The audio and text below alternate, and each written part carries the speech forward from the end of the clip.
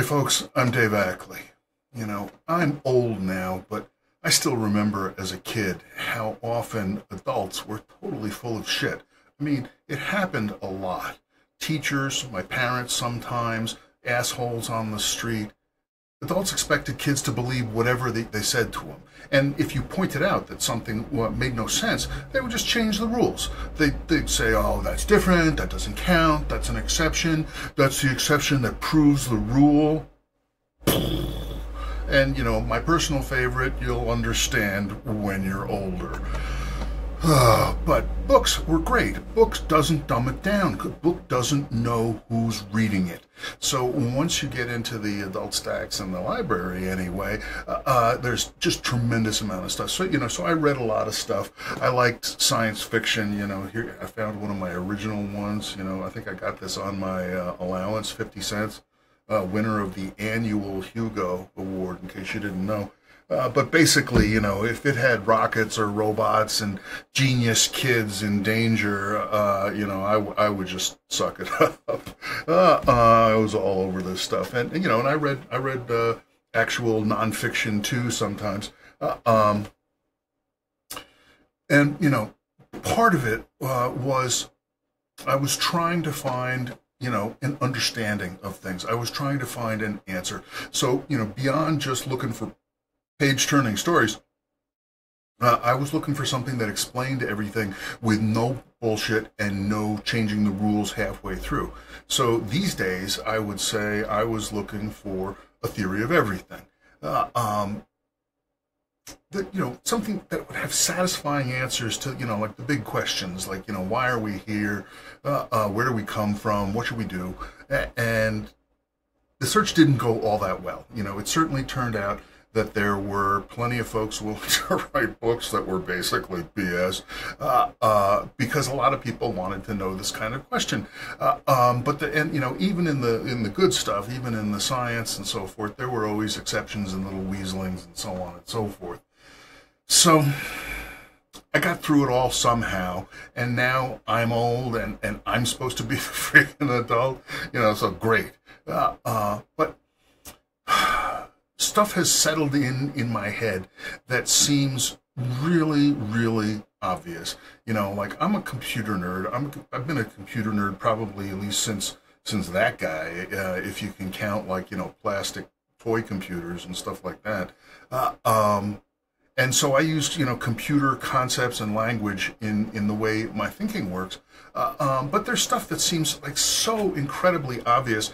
And so I keep trying to say, say it to people, at least to say it to other computer nerds. Uh, but I think it's actually more broadly applicable beyond that. And, and you know, so far, I'm not sure I'm really getting it across. So I'm going to do it again today. I'm going to try to lay it all out. You know, I'm sort of taking it that, that my job is to, you know, say it as best I can and to keep saying it uh, uh, until I hear it coming back at me. So, you know, I've got way too much to say and, and I, you know, hopefully the technical issues aren't screwing it up too bad. Hopefully they're not screwing up the local recording. We'll see how it all goes. But the point is, this is for you guys. You know, uh, I'm sorry I'm late. It worked out okay. You know, let's see what you think. All right.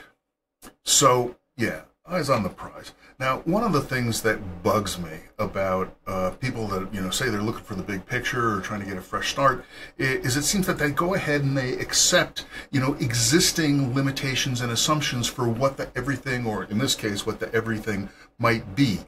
Uh, and that seems silly to me. I mean, I, I feel like it's like Star Wars, right? With Luke Skywalker going, you know, everything is more than you can imagine. And Han Solo going, oh, I don't know, I can imagine quite a bit.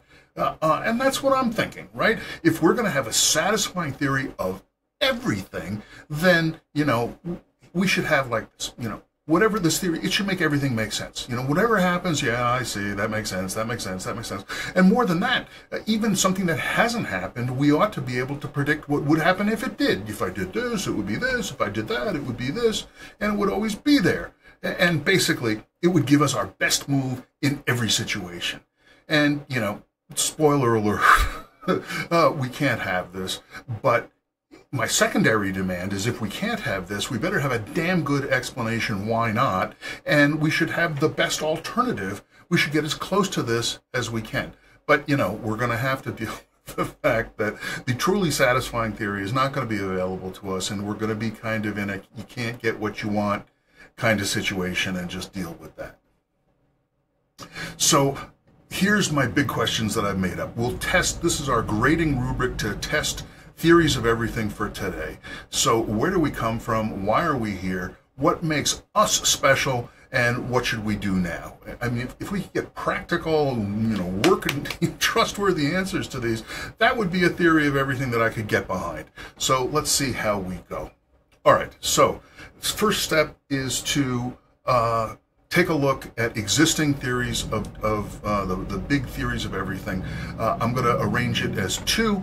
Uh, uh take this huge hack job of taking all the concepts of, of humankind thought and cl clumping them together into two piles. Number one, that's you know mind and religion and consciousness and God, soul, free will, all that kind of stuff on the one hand, and on the other hand, it's science. You know, physics, chemistry, biology, cosmology, neuroscience. You know, machinery, levers, pulleys, inclined plane, everything, electrical engineering, and so forth.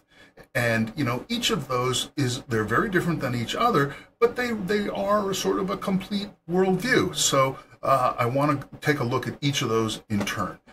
And, you know, so there's this germ theory of truth. I don't know, I sort of made it up at some point. I'm sure it's officially something else. But the idea is, you know, there's a germ of truth in every idea that's seriously proposed. No idea can capture it all because, you know, an idea is just one little thing. Uh, um, so you can't even really pretend you understand an idea unless you can say what it is, why it's good, and some kind of limitation on it. And, you know, I think this define, defend, and attack is, is a useful technique. Well, for one thing, because it separates define and defend. I mean, when you have partisans, when you have fanboys, they tend to smush together the defend and the define. But we'd like to pull that apart and have as neutral a point of view discussion of what it is, independent of why it's good. Similarly, uh, depending on which side they all come out on, you know, the attack might be pretty weak tea, right? You know, damning with faint praise or praising with faint damns, depending on whether uh, we're attacking or defending. So that's the whole idea. Let's try this out on our existing theories of everything. So Mind, religion, consciousness, God, soul, all of that seeks to explain our origin, purpose, and identity. You know, where do we come from? We came from the God, we came from the gods. You were living on the back of a turtle, that's living on the back of a turtle. Whatever, something like that. And, you know, Descartes is in here as well. You know, I think therefore I am, you know, like, you know, it's in the morning and he's, he's having his breakfast and a little cup of coffee and a brioche. And he's like, you know, ooh, I'm thinking uh, Therefore, that means I, I exist. I, am actually in here. I'm having thoughts right now. I'm, I'm, you know, here I am. And that's the way we all work, right? I mean, it's like, you know, we're in here. Uh, um, and if that proves that we exist, well, that's a great start. So all of this stuff all goes together. And this is, you know, this is the original theory of everything stuff. We've been having narratives, stories, explanations like this, uh, as I, I, assume, as long as we've been talking to each other. Uh, um, so there it is. What is good about the mind theory of everything? Well, it's ancient and widely held. Now, when I'm wearing my kid hat, you know, saying, you know, ancient is a good thing. But widely held is really important uh, because it means if we can speak into that language, if we can fit into the framework of that theory of everything, then we could potentially uh, have a lot of impact. We could potentially reach a lot of people. Uh, um, and, you know, in that same spirit, you know, it's got the soul built in, it's got the self real built in. It's easy to get started with it because it starts with us. And in fact, you know, just I mean, in the same the Descartes way, you know, I think I think I think the very first idea. And these things essentially are built for the rubric, which is, I mean, it's kind of like teaching to the test, which doesn't exactly sound like a good thing. But we'll come back around to it. Uh, uh, and they all offer some kind of notion of free will. You have to decide what to do, but some kind of guidance about what good things to do are.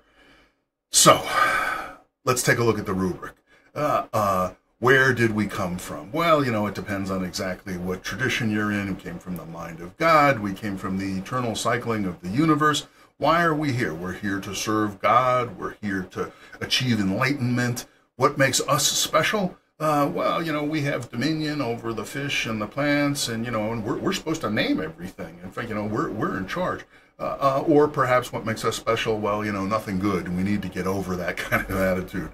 And, you know, what should we do now? Well, you know, we should be good, help out, uh, pray, put money in the basket, stuff like that. So, on the other hand, one of the problems with the mind theory of everything is it, it, a lot of the stuff is pretty unrepeatable. You know the stuff the thoughts i have they're you know they're buried in my head. They're like super secret. And you know how do i know it, my experience of the red color when the word attack is the same as your experience of the red word and the color attack? And so on. Uh, um, and by a similar token you know the the theories of of ourselves of, of god of the origin of the universe are completely unfalsifiable. They're unprovable uh, in the sense that there's nothing that necessarily would absolutely make this thing be true, but there also nothing that could ever say it's not true. Uh, and, you know, and finally, in part because it's not falsifiable, all of these things require faith. Now, that's not necessarily a bad thing, but it means at some point we start saying stuff, we start repeating what we've heard, we start repeating our learnings, even if they don't sort of completely make sense. Uh, uh, you know, and a lot of religions are, are pretty internally inconsistent, uh, uh you know, and that's just one of the mysteries. Uh, uh, and certainly, you know, different religions are extremely inconsistent, and you know, in the history of our species, that's occasionally caused a little problem. But the problem I want to talk about here is that once we have faith, once we just said, you know, I believe, I will say it, you know, whatever it is, it's turtles all the way down, uh, like that, then we are, you know, we gave over a certain amount of our agency, a certain amount of our critical faculty to be faithful like that. And, and that can be misused, that can be corrupted. Uh, um, and so that's a problem with uh, the mind. It's a problem with anything that's based on faith. Uh, uh, okay. Number two, uh, science, cosmology, um, all of that. This is the challenger. Um, Physics TOE seeks to explain all the forces of the universe in one master theory. Preferably, they would like to get it down into one equation that shows how everything relates to each, each itself. Uh, um, they've gotten it down to two, which is pretty amazing. Uh, uh, uh the theory of general relativity deals with uh, big, heavy stuff. The theories of quantum mechanics deal with small, light stuff. And they each do really well in their specific areas, but they don't quite talk to each other. Uh, um, and, you know, this is the much younger uh, um, uh, theory of everything. And in fact, you know, this is, is partly where the phrase theory of everything came from out of, out of physics. Uh, uh and it was, you know, as often as the case, it was originally used, uh, uh, you know, sort of sarcastically, but then eventually it was co-opted by the fanboys. What's good about the theory, uh, the physics theory of everything? Well, it, it works. Uh, uh, it's got huge explanatory and predictive power, uh, uh, and it has this interlocking aspect. It's sort of a mutual truth pact that if you accept that the, the things fall because of gravity, well, that also means that you can predict how, how a ball is going to throw an arc when it's being tossed and a rocket is going to shoot up in the air and so forth. And if you try to make an alternate explanation for any one of those things, you're going to come up against the fact that all the theories interlock. And, and so it becomes, it's a very, it's like a viral license. You know, the whole thing, you know, now there's plenty of mushy gushy stuff in science writ large that, that we haven't made anywhere clear sense. But there's a tremendous amount that's really well understood. And, you know, uh, science writ large, physics writ large, to include uh, mechanics and chemistry and electrical engineering and all the rest, uh, underpins most technology that we depend on, that we live with today. And, you know, not to put too fine a point on it, but in the history uh, uh, of our species, you know, physics writ large has made some people a tremendous amount of money. Uh, there's huge, unbelievable, you know, world-changing innovations in medicine, in weapons, uh, uh, in computers, and so on. On the other hand uh, if we try to uh, take the physics theory of everything and say, how well does it do on the rubric, we start to get into trouble. Now, I found a couple of quotes to give us the flavor of how physics comes at this. Uh, uh the first one, this is from Steve Weinberg's book, the, the, uh, the first three minutes. Uh, this is basically the tail end of the whole book, at the end of the epilogue. The more the universe seems comprehensible, the more it also seems pointless. oh, okay. Uh, kudos for honesty. Uh, uh, but as a philosophy of life, it's kind of a drag. The effort to understand the universe is one of the few things that lifts human life above the level of farce and gives it some of the grace of tragedy. okay. You know, and this is a real problem. You know, as I was growing up and I was reading the science and trying to figure stuff out, you know, I, I, I got to this. I don't know if I had stated had it stated quite so clearly, uh, uh, but you know, it's a big bummer. There's also another one. I got this just from a popular science article when I was searching for stuff about the theory of everything. And the journalist says, you know, if we finally crack the theory of everything, will that be the end of physics? Duff disagrees. That's Michael J. Duff, who is a physicist, a string theorist that actually was working, was done a lot of stuff, a little bit controversial, on uh, unifying all this stuff. And he says, you know, after we learn the rules of chess, we can finally start playing the game. And that seems to make sense, right? Uh, uh, you know, they've gotten it down to two. Uh, and if we want to get it to one, we just have to wait until they finish the job. And then we'll have the answers. Then we'll be able to, you know, tear everything down uh, to its final ultimate pieces, whatever they are, you know, posit, gravitrobe, boson, bangers, you know, whatever they end up being called. And then we can put them back together according to the rules and we can answer our questions. We can figure out what we want. Except we can't. And this is where uh, computation just comes right in. And it's because of chaos and computational complexity, which I'm calling C3 just to sort of sum it all up. So chaos, the technical notion of chaos is there are certain setups in the world, there are certain physical situations where, you know, you, you see stuff that are all set up in some position and you'd like to predict uh, what's going to happen, where, where they're going to go from there. A- and it turns out that, you know, if you have any error at all, no matter how tiny in how you measured the original setups, then over time that error will get bigger and bigger and bigger until you have no idea where anything is. That's chaos. Uh, um, and that's really bad because, you know, we have no ability to measure anything truly exactly to the infinite precision, whatever that would be. And it's even worse than that because, you know, well, now, to understand, it, it, it's not that the uh, everything in the universe is chaotic. There are plenty of stuff in the universe that's very well behaved. But if we're going to be dealing with everything, then all it takes is one chaotic system in the world, uh, in the universe, and, and we're screwed as far as the theory of everything is concerned. But put that aside, even if we, we manage to say, no, there is no chaos, uh, uh, computational complexity is going to come and kill us anyway. The idea is you know, there's just too many combinations of things. So we're building up these micro, uh, you know, coolotrons, whatever the particles are. We're putting them together according to the rules, and there's just too many ways to put them together that might work, might be what we want, and might not be what we want. And we're gonna, the universe is gonna burn out before we even try the tiniest little fraction of the possibilities that there are. So, this is a little bit of a sidebar. No, we're okay. Uh, uh, but I, I wanted to go into it. Uh, um, there's from the outside, uh, there's a couple of phrases, you know, computational complexity, you know, that's word, and there's another word, computability, that uh, sounds kind of similar. Uh, but from the inside, they are very, very different, as different as good and evil. Again, not to put too fine a point on it. And why are they so different? It's because computational complexity takes into consideration the resources that are required to do something. Computability does not. So, you know, things like, you know, people that have a, you know, computer science education, yeah, they all know about Big O and P equals NP, all these famous things. Uh, uh, and they know about Turing machines and universal computation, undecidability and stuff as well.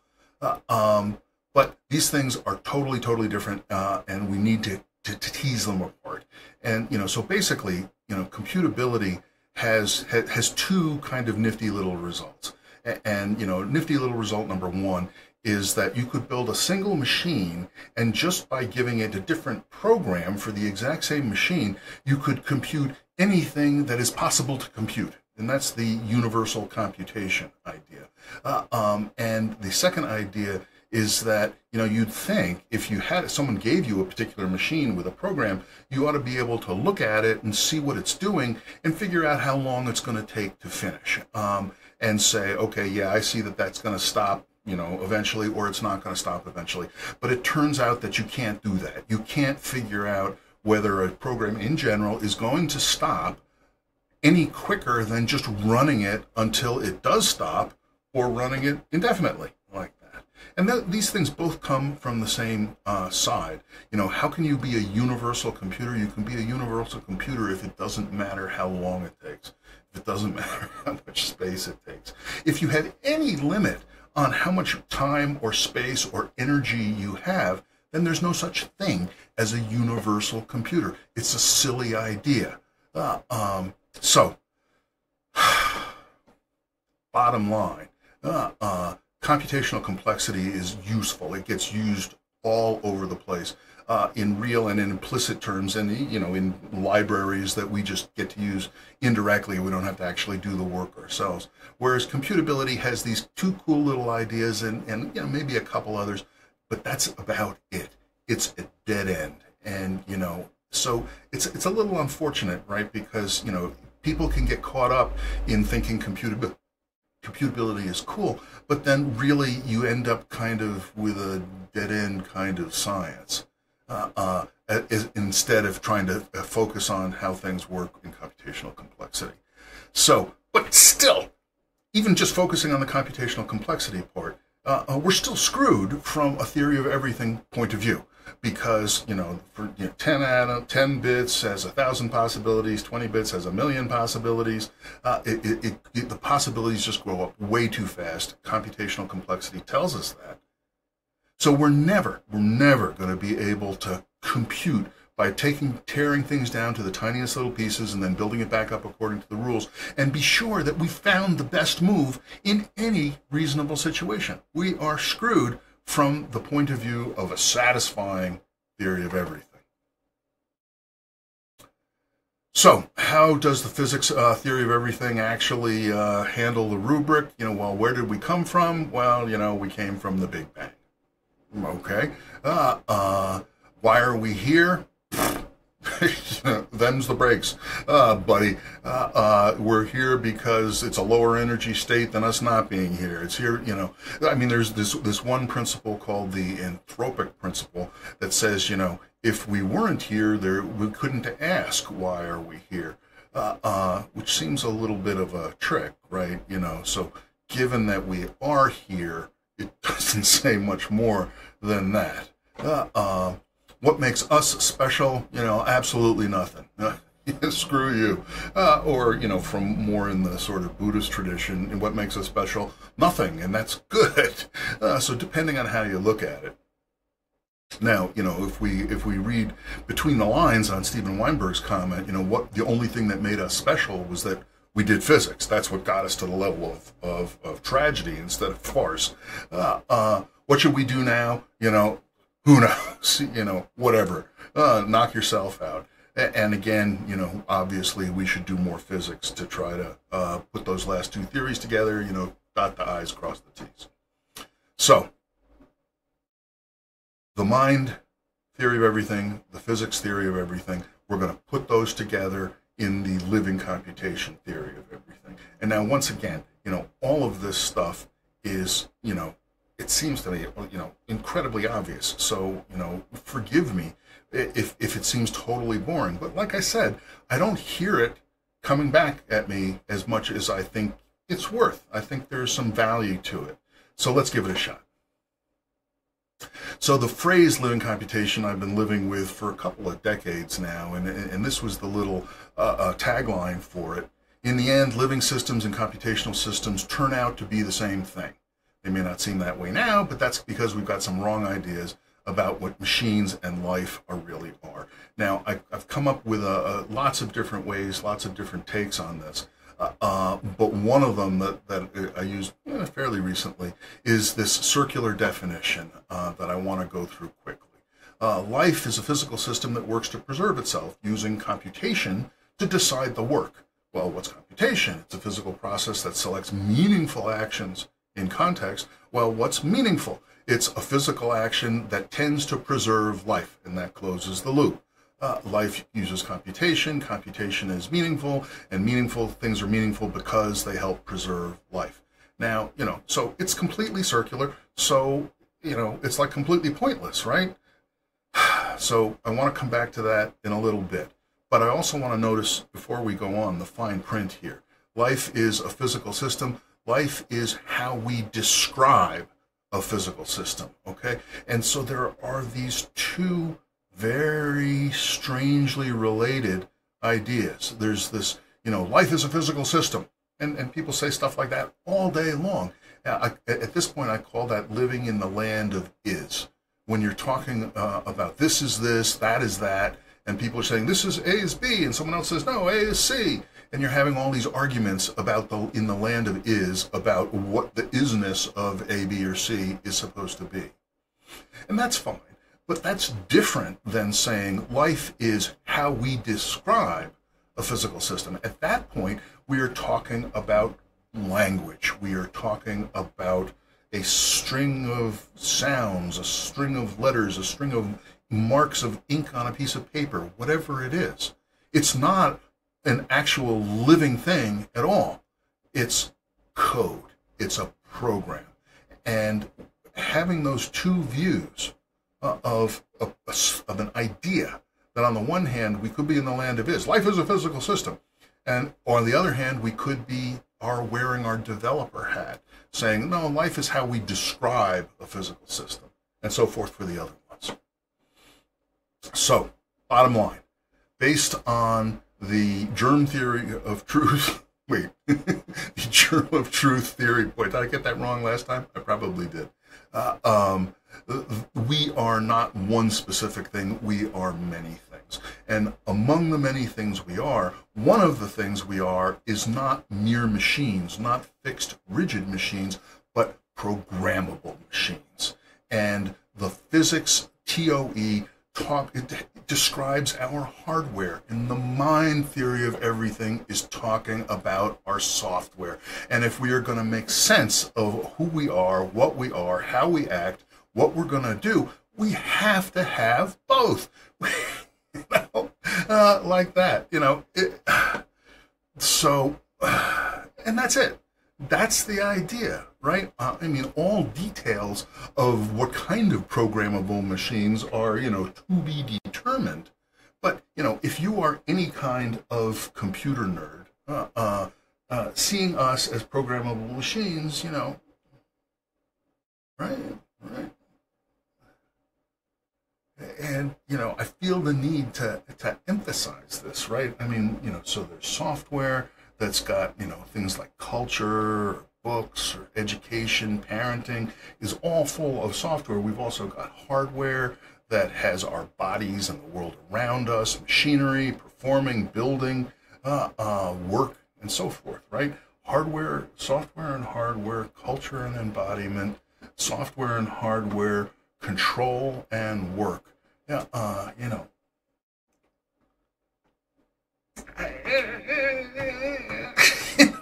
like,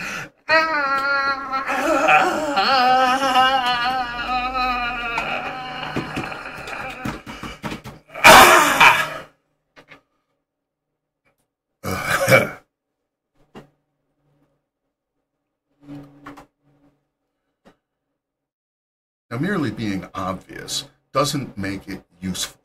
So there's an, certainly a question. You know, what good is it to use all this computer nerd jargon? I mean, you know, sure, you can do it. It's cute, maybe. Uh, uh, but what, what makes it any different than any other theory of everything?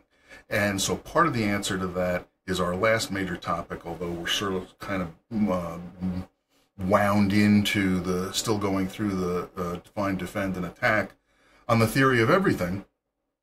Uh, um, but it's about the importance of being obvious. So let's deal with that now, uh, uh, and then come back to other topics and the, and about the theory of everything.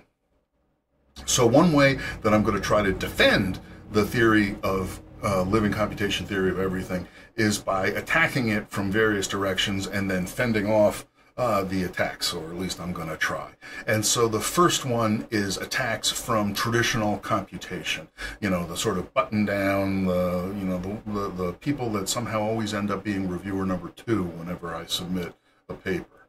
And, and from their point of view, uh, uh, the trad comp viewpoint says, you know, Hardware must be digital and deterministic, and software must be perfectly unambiguous and precise about what it's going to do. And if you don't have that, if the hardware isn't deterministic, if the software is ambiguous, you don't even have a compu- computation at all. You just have some kind of garbage as far as the trad comp folks are concerned. But LivComp uh, takes a very different viewpoint. You know, yes, digital and deterministic is a way of doing computation, but that's just a beginning. That's just one way of doing it. It's training wheels in computation. It's the cradle of computation. And LivComp says the destiny of computer science is far beyond determinism, uh, deterministic execution. And, you know, I think it's exciting. Uh, uh, but you know, if you're if when you're stuck deep, deep, deep in deterministic execution, you know, this kind of idea is is, is threatening, scary. So there is a, a natural question that comes up that okay, if we're going to throw out digital and deterministic execution, you know, how much of computation still means anything? I mean, that that's the implication that TradComp says no, we can't do that. But my feeling is is that a lot of concepts, more general ideas of familiar computational ideas, maybe not completely traditional, carry over. They just have to be kind of reinvented a bit. And one big area is software engineering. Software engineering, interpreted generally, writ large, definitely remains in the living computation framework. So there's a thing called an application program interface. And again, this is this is bread and butter for computer nerds, but for people on the outside, it's you know just more jargon. Uh, uh, typically, when people are talking about application program interfaces, they spell it out API. I am trying to get myself to pronounce it instead to say API. Uh, an application program interface is an API. Uh, um, and but what it is, and you know I'll probably screw it up and spell it out, but I'm, I'm working what it is. An appy is is like a Mad Lib, or it's like a cookbook of Mad Libs. You know, take one unit of vegetable and uh, you know one unit of spice, uh, uh, like that, and you can fill these things in. So an an appy is this combination of fixed parts and these sort of variable parts where you can plug in things and come up with them. And you know, the important point for me here, the importance of being obvious, is that you know when scientists are doing scientific research, uh, they want to figure out an experiment to do that's going to have the most surprising result. Uh, that you know you would have expected that if we measured blah, blah, blah, that the the heavier one would fall faster. Ha ha! No, the, they both both fall at the same speed. Uh, the most surprising result is what scientists are after. But developers, code designers, are not looking for that. When their developers are developing APIs, they're looking for the least surprising uh, design, the least surprising Mad Lib, the one that other developers would be easiest for them to use. And that's why being obvious is so valuable. So, oh yeah, and another little point is that APIs are typically circular. You know, like there's a definition of a, like a binary tree. Uh, in computer science, a binary tree is a node connected to zero, one, or two other binary trees. And you go, wait, a binary tree is defined in terms of a binary tree. It's circular. And it goes, yeah, it absolutely is. And that's very useful. And in fact, this is the same claim that I'm going to make here. Our core uh, uh, relationship, life, computation, and meaning, this isn't API. Uh, uh, it's a blend of uh, requirements that, that life is. It's got to be physical. It's got to work, and and optional stuff where it be you know sort of any computation. And you know, my my claim is, and my belief from sort of living here for a decade or two, is that you know beyond determinism, you know, appies with all of these kind of properties, this combination of flexibility and control, you know, they're everywhere. You know, laws, human laws are appies, parent and kid roles are appies. You know, the idea of the rugged individualist uh, uh, is an appy, you know, and, and, you know, in a lot of ways, it's kind of a crappy appy. Uh, um, so, for flavor here, we can, you know, take a minute. Oh, we're doing okay. Uh, um, to look at a few consequences of this incredibly obvious idea that we are programmable machines. Uh, uh, so, for one thing, natural language, what I'm doing now, is programming language, is a form of programming language. Why? Because we are programmable machines. And how do we get programmed? We hear language, or we tell ourselves language, or we think it in our head, whatever it happens to be. Uh, um, and, you know, pseudocode is real code. I love this. Uh, um, when, you know, computer programmers, developers, software folks, uh, uh, they, when they're explaining how something is going to work, uh, they they can leave out lots of the little nitty gritty details of how any particular language would do it, and just you know get the gist of it. Uh, uh and it so it kind of looks like code, but it wouldn't actually run, and that's called pseudocode. But now that we are programmable machines, we can say that that pseudocode is real code that runs on developers, runs on software engineers who get it. And if somebody, you know, is missing some little key bit so they don't understand some bit of the pseudocode, then it won't run on them. So once we move beyond determinism, instead of saying this is code and this is not code, we have more of a notion of like, you know, the ecological range of this code. How viral is it? How infectious is it? Uh, how big a population of people, machines are there out there that could run the code?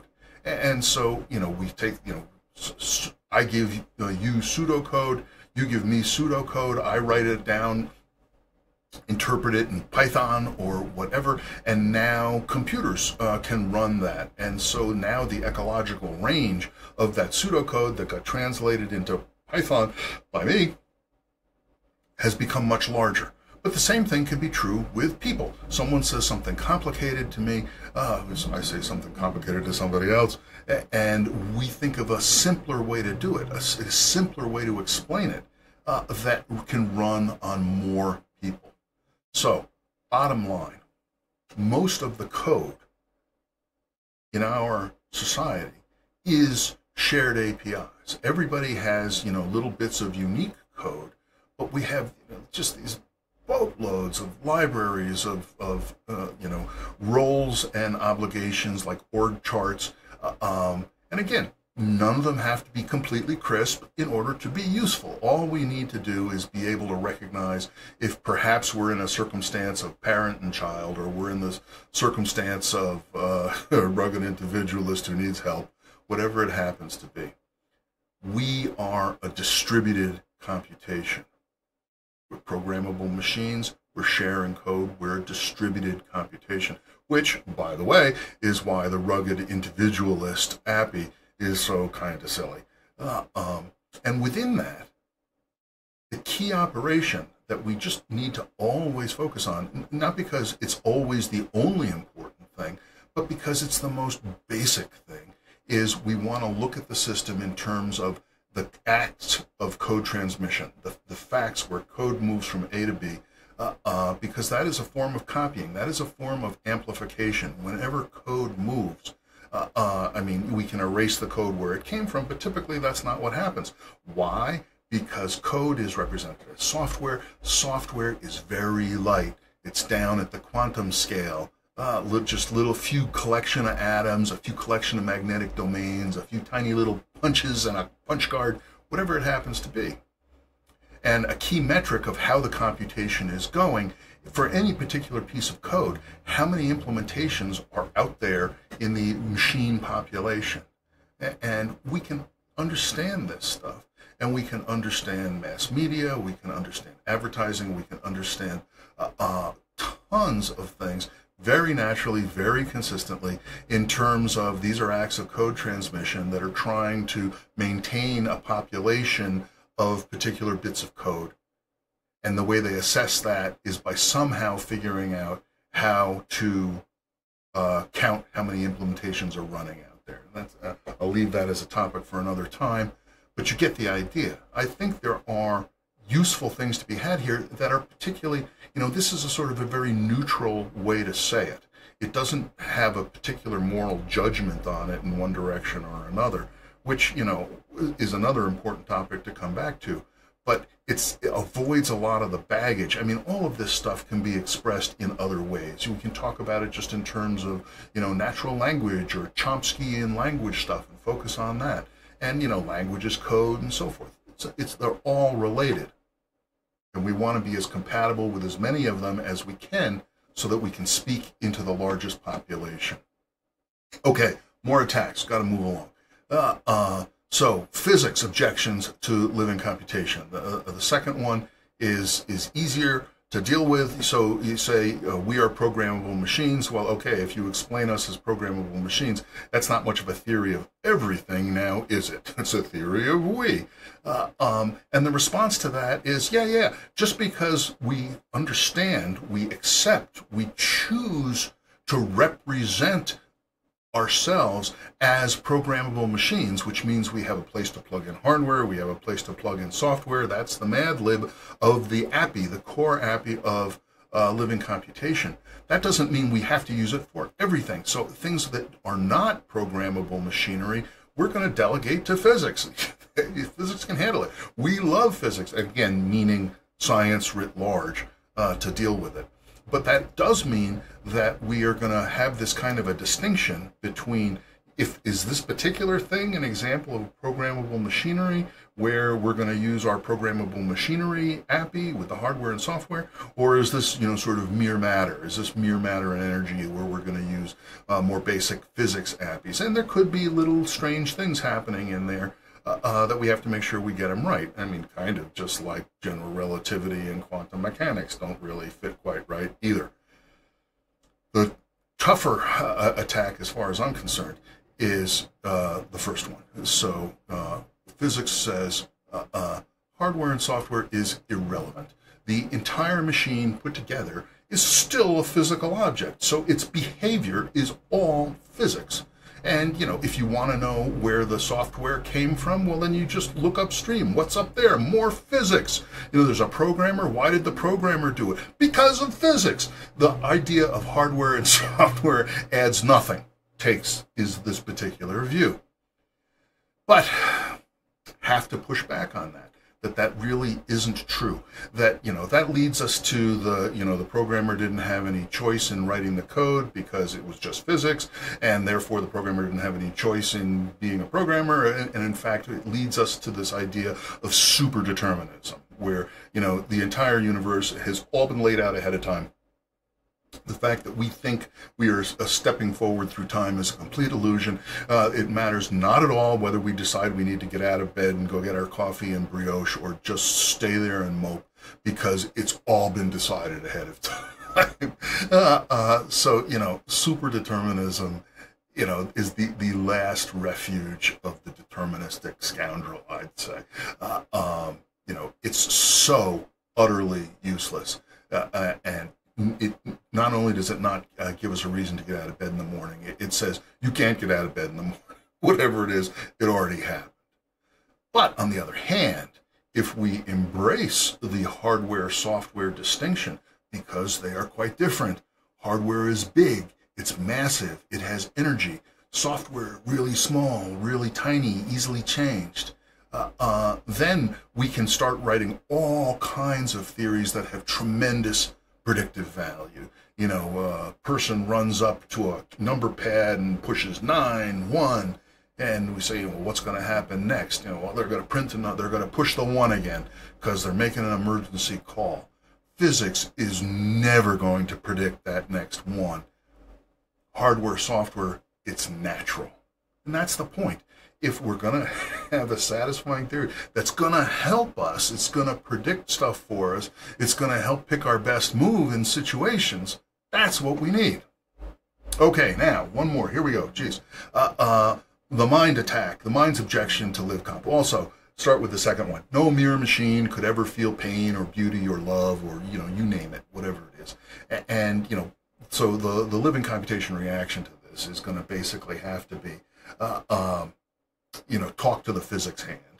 Uh, it, because you know if physics is going to have this reductionist approach, we can tear it all down to the uh, inverted bosotrons. Um, then uh, the things are going to everything is going to be mechanistic so we're going to be mechanistic so if we can feel pain and beauty and love well then uh, mere machines can too so we'll just push that one off the table we'll delegate that to physics but this first one is more substantial uh, uh, mine says but your terms software code they are just as subjective as mind or soul who knows if my code is the same as your code it's just more words. Why not stick with stuff that we've already known, ancient and widely held things like mind and body? Good attack, right?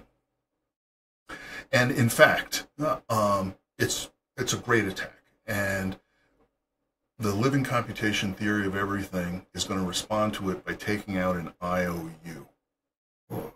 Uh, uh, and what we, what I say we need is it's incumbent upon the living computation theory of everything to provide a second implement, second implementation. What does that mean? You know, so you know, you and I are talking, or we're talking and listening, or we imagine that it could go both ways. Code is flowing, uh, um, and I'm making the claim that you know that feeling that you have inside that secret feeling that's running in there the secret place where you have feels and you exist just you know like you know i think therefore i am.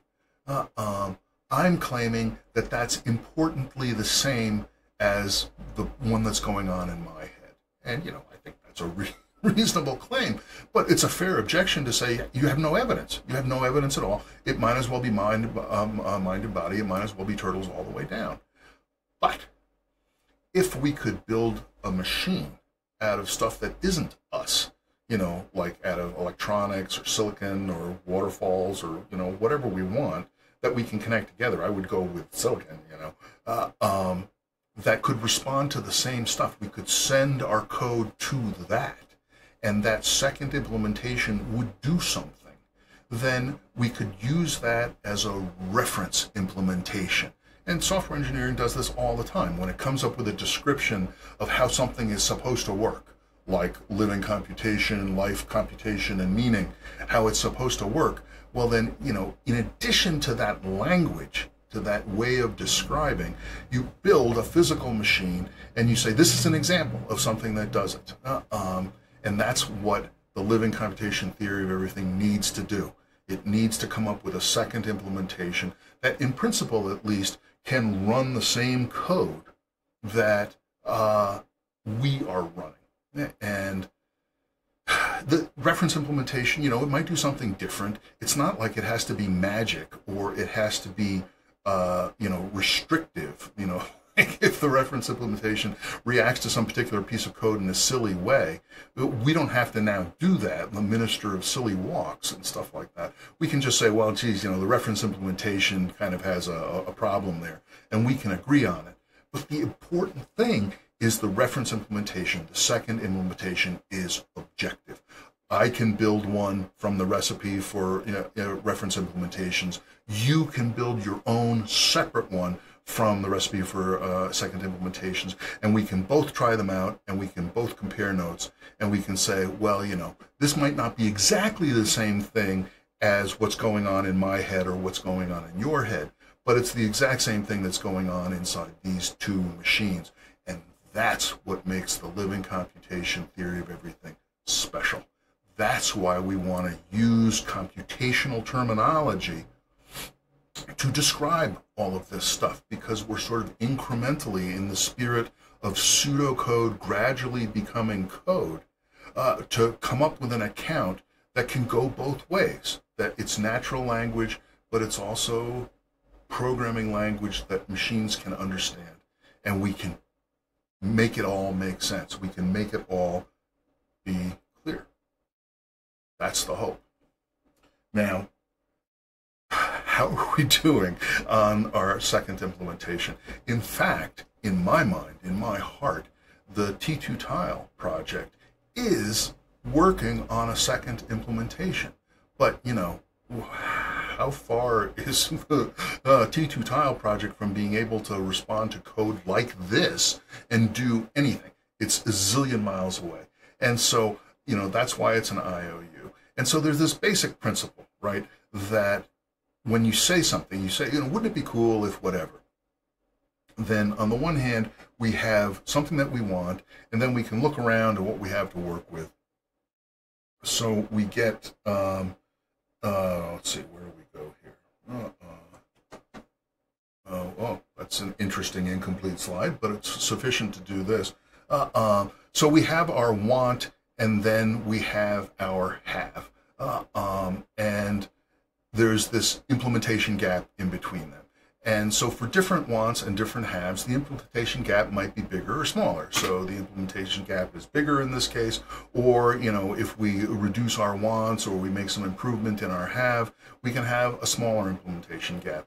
And once we manage to actually eliminate the implementation gap completely, then we have a machine. Then we have something that will actually do uh, uh, whatever it is. And the T2 tile project has an implementation gap is absolutely gigantic.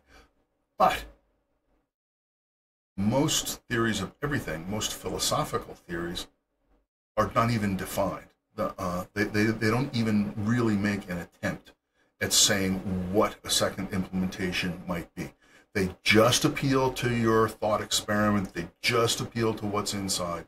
And therefore, I think they kind of fall off the rails. They, they kind of end up spinning their wheels on lots of little stuff that sort of makes sense from a sort of syntactic linguistic point of view. Uh, uh, but it doesn't really get us much closer to anything that's implementable. And that's the underlying message of all of this stuff that, uh, and again, this goes back to computability versus computational complexity, like that. So, you know, this is my hobby horse. You know, don't make me tap the sign. What does the sign say? For me, the sign says only the implementable can exist. That's the point. And so we have to frame things in terms of something that's implementable. And the, the basic game is is that when someone suggests an idea, I think we're living on the back of turtles, or you know whatever the rule, whatever the idea absolutely is. You know, there's some kind of implementation gap. They can't actually show us a demo of the turtle back right then and there. They can't bend down and say, "See, this is a turtle scale," or whatever it is. So they have to say, you know, they would have to take a trip to the turtle spot, you know, whatever it was they have to do. But that's their implementation gap. And the idea is is that if we are listening to their stuff and we find the stuff incredible, like I did when I was tiny, and adults were saying ridiculously stupid things to us, uh, um, then uh, we can call the loan. We can we can call so another name for the implementation gap, slightly different, is technical debt. Uh, um, and at any point we can say, okay, you know, tell us about the implementation. Tell us what you would have to do what's your best theory about what you would have to do to get from an idea like that to a runnable machine. And the living computation theory of everything is based on making that effort, going from want to have to less implementation gap. Okay, so that thing, I don't know what's that there. Okay, wrapping up, to go just a couple minutes long. Uh, uh to attack the living computation theory of everything, which is now me attacking it, opposed to straw men that we fend off. Uh, um, you know, so obviously the biggest attack is that you know we still have to choose, and and that's a big drag. You know, because you know behind the scenes, when I wanted a theory of everything, what I kind of really wanted was an excuse to shift the blame.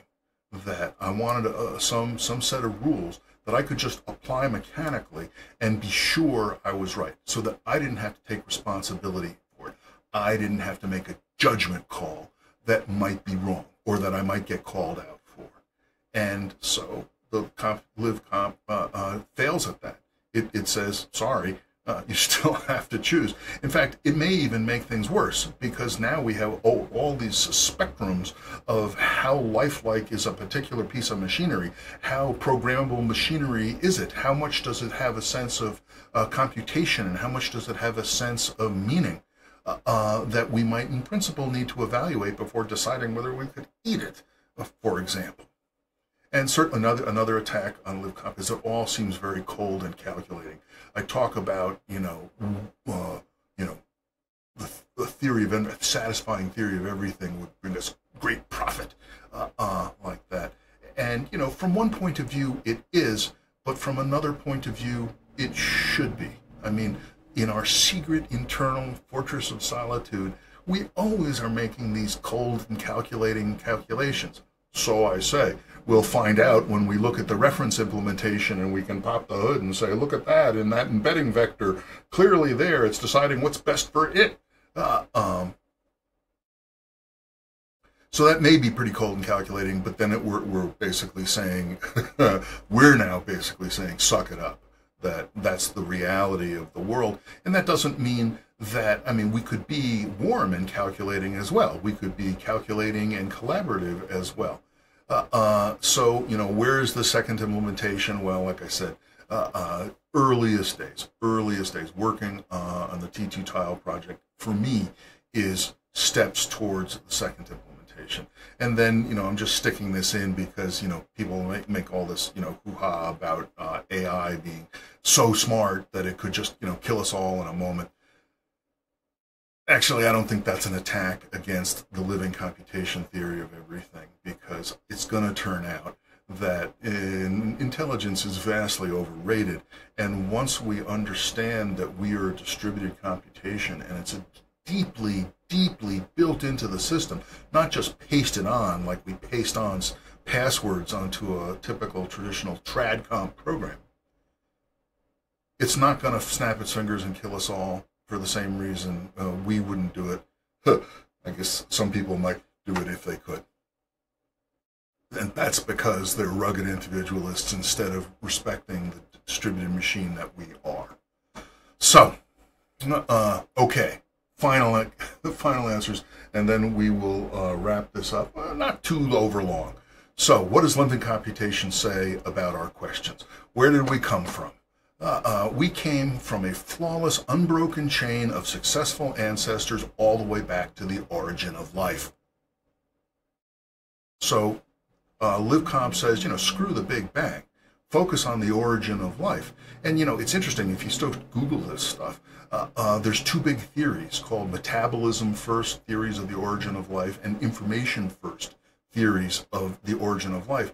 And metabolism first is physics information first is software, hardware and software, uh, because again, they have to come together to make life. Uh, uh, number two, why are we here? We are here to preserve our patterns, whatever we conceive them to be.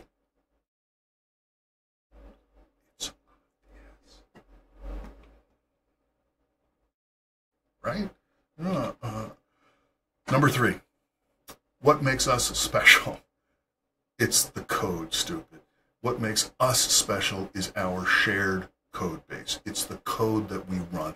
That's what makes us special. That's what makes us so vastly different than even animals that are quite similar to us in some way.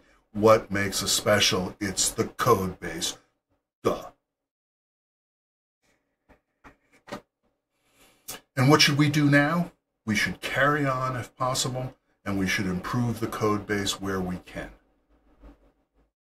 That's it. Uh, right? Um, one last point. Uh, how do you improve the code base? Well, so the living computation approach says, you know, we need to work on the code that we are all running collaboratively and collectively. And the way we do that is we want to collaborate with each other as if we're developers also known as talk like adults. Uh, uh, we would like to figure out, you know, okay, is this thing true or is that thing not true? Yeah, that's all fine. But that's what ultimately is going to happen is we're going to have to say, well, the code's going to try to go this way or the code's going to try to go that way, and then we're going to distribute it. And so what we should try to do is work for consensus on the key code base maintenance question, which is, what do we tell the kids? That's it. Tell me you got this.